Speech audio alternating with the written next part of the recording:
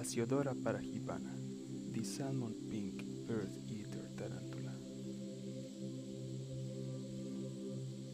It's a large New World terrestrial opportunistic burrower species of tarantula endemic to the region of Paraíba in the northeast of Brazil. Was discovered and described in 1917 by Cândido Firmino de Melo Leitão. It is considered third largest tarantula in the world, competing with the Theraphosa blondi and Theraphosa apophysis, being able to reach up to 11 inches in length. That's a frisbee-sized tarantula.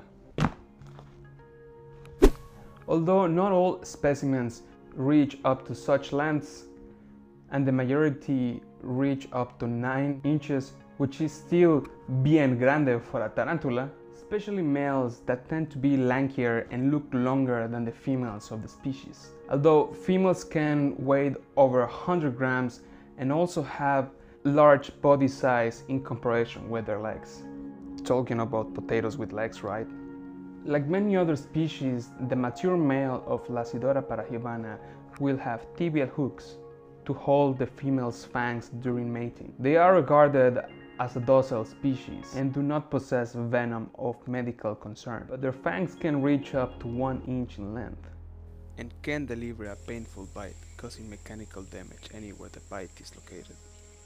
However, rather than biting, they usually choose to flick urticating bristles and are considered to have one of the most painful reactions. These harpoons, like hairs, are extremely irritating. Since they come from a tropical climate in the northeast of Brazil, where the temperature ranges from 21 degrees Celsius to 30 degrees Celsius, I raised my tarantula from a sling in between the 22 degrees Celsius and 27 degrees Celsius, and she just keeps getting bigger. They also appreciate a humid environment. In fact, 70% of humidity is ideal, but you can also get away with just misting twice a week the enclosure and having a water dish. Fresh water should be available at all times. If you're using tap water, make sure it is not high in chloride, since this could be potentially harmful for your tarantula. If you have doubts, just let the water sit overnight. Chemicals should evaporate by doing this. Or you could get one of these turtle enterapine water freshener or any ReptiSafe water drops. This contains safe bacteria that will encourage a good environment for your tarantula. And I know some people will say, I always use tap water for my animals. In all my years of keeping animals, blah, blah, blah, blah. well, that depends where you live, right? I mean, I cannot even drink the tap water in here because ah, it doesn't matter. Just don't kill your animal, okay? Muy bien. So where were we? Así es la guía. The care sheet. As a sling they will burrow, so you will need a rather tall enclosure with enough substrate for the sling to burrow. About 2 inches of substrate is enough for a tiny sling, something that you would put in a veil like this. And about 3 inches of substrate is enough for a not so small sling.